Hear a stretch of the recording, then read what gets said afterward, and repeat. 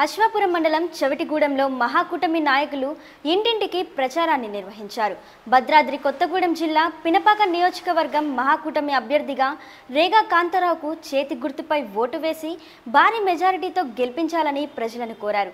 TRS ప్రభుత్వం చేస్తున్న అవినీతి అక్రమాలను ప్రజా వ్యతిరేక పాలనను ప్రజలకు వివరించారు. ఈ కార్యక్రమంలో పార్టీ నాయకులు కార్యకర్తలు తదితరులు పాల్గొన్నారు.